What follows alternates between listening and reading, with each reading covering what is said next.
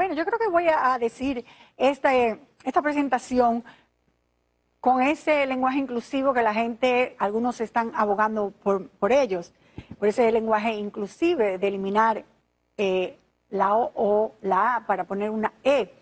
Entonces podría yo decir esto, muchos de ustedes han visto la controversial propuesta que hacen algunos grupos de la población LGTB y Q del uso de la vocal E como una manera de identificar el llamado género neutro. La verdad es que para explicarlo en una presentación faltaría tiempo, pero de seguro usted ha visto en las redes, en los medios, personas que dicen todas, todos y todes. Pues quédese a ver este reportaje para que comprenda este tema y de las luchas que hay tras el mismo. La posición de la Real Academia de la Lengua y todo lo que está pasando en este movimiento en el mundo, porque no es solo aquí, es aquí y en el mundo. Así que, amigues, vean este reportaje de Odalis Castillo. No soy tu compañera, soy tu compañera. Perdón, una disculpa. ¿Compañere?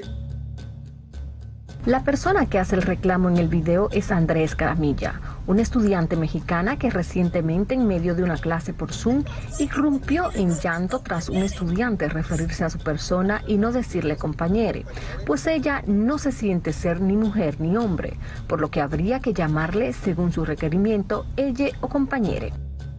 El video se hizo viral y con él un tema que no es nuevo, pues la inclusión en el lenguaje ha sido debate en distintas épocas, desde las luchas feministas para ser visibilizadas, donde tomó popularidad el todos y todas. Más tarde, el uso de la arroba como forma abreviada para identificar tanto el género femenino como masculino.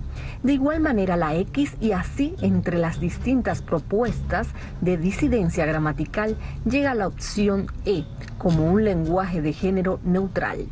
Esto ya ha motivado protestas en Argentina, donde en el 2019 los medios reseñaban las manifestaciones en reclamo del uso de un lenguaje inclusivo. En España el tema ha llegado hasta el Congreso. Se ha hecho viral un video donde una diputada del partido Voz fija posición ante este tema. En español el plural en masculino implica ambos géneros gramaticales y junto con el género neutro son los únicos géneros que existen. Por cierto, los biológicos son sexos, no géneros. Pero las voces que defienden la propuesta de utilizar la E como género neutro en español pertenecen al colectivo LGBTIQ, quienes han estado planteando sus razones para que se comprenda, pues con las múltiples bromas que se comparten en las redes sociales, pronunciando todas las palabras con la E, dicen se está desnaturalizando la idea. La gente ha relajado el sustituir la, vocal O por la letra E en todas las conversaciones y, hace una burla en, eh, sustituyendo en todas las palabras la O por la E. Y ese no es el lenguaje inclusivo. Y es que la propuesta del colectivo LGBTIQ más en el mundo es un cambio gramatical que implica los adjetivos y los pronombres, no la forma exagerada en la que se habla en las redes. Lo que se propone realmente es eh, eh, de alguna forma neutralizar los pronombres eh, y por eso se sugiere, digamos, que a esas personas se le llame por ella en vez de ella o él y que cuando hablemos en plural hablemos de todes. Eh, que no es necesariamente que es específicamente para un grupo, sino lo que estamos diciendo es que ni es ni todos ni todas. Eh, son básicamente, literalmente todas las personas que están ahí incluidas. Pero ¿en qué se sustenta esta idea donde la lucha de la inclusión está pasando a la gramática?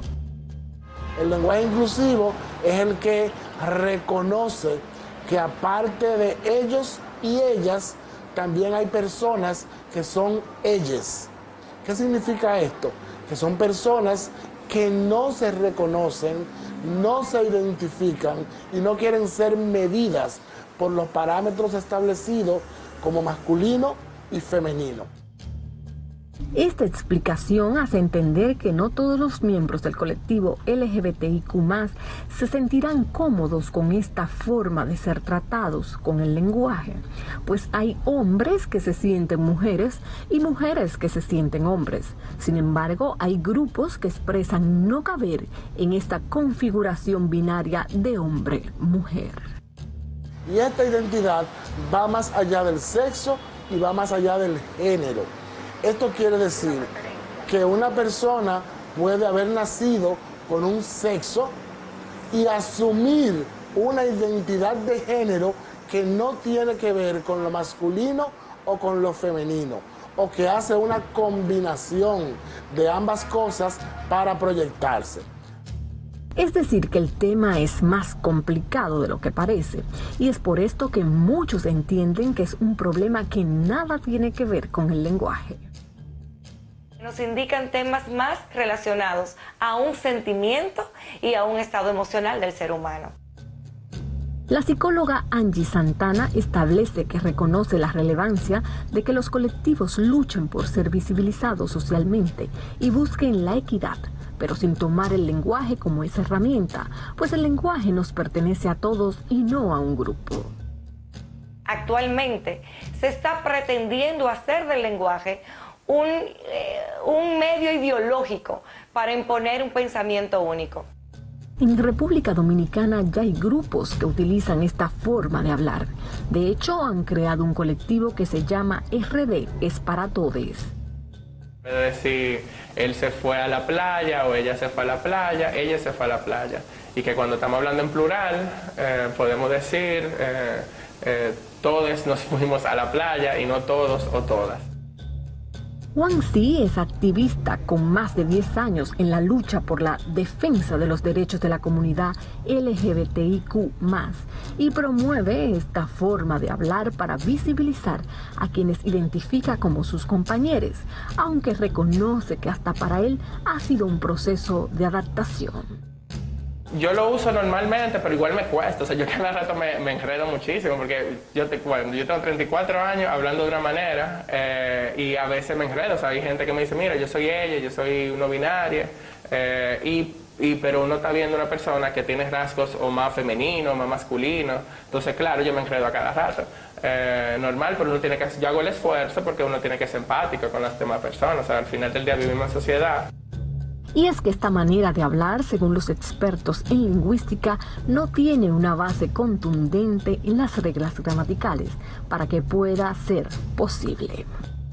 Que eso altera la economía del cambio lingüístico y del funcionamiento lingüístico. Y además de eso, eso no es una lógica absoluta, no es una lógica absoluta, sino que parte de ciertas restricciones, eh, de ciertos prejuicios, de una u otra manera, que eh, realmente lo que hacen es que crean confusiones. Además, la lengua no es ni masculina ni femenina, ¿no?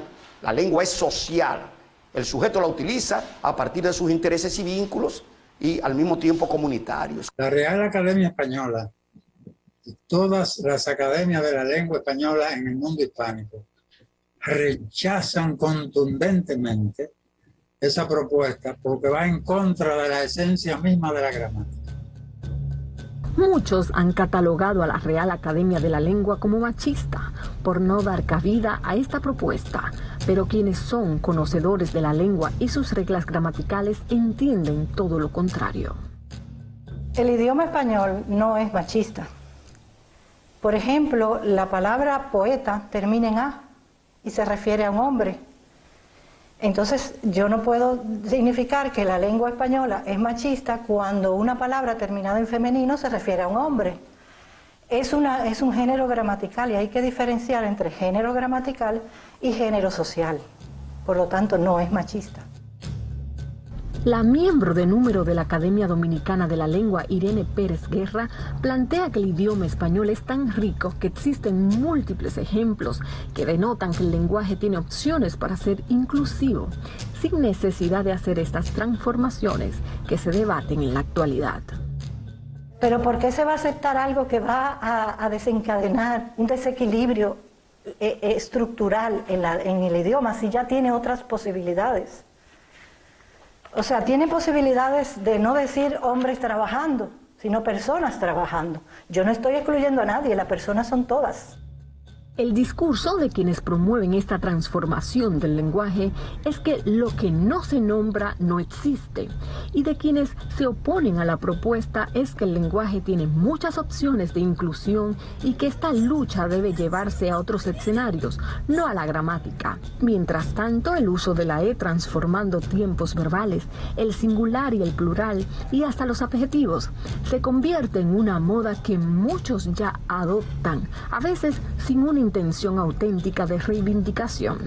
Habrá que esperar que pase el tiempo a ver qué pasa con este tema, pues los cambios en la lengua dependen de una evolución histórica, a veces hasta de miles de años, y se dan con la aceptación de la comunidad de hablantes, que en el caso del español sobrepasa los 500 millones de personas.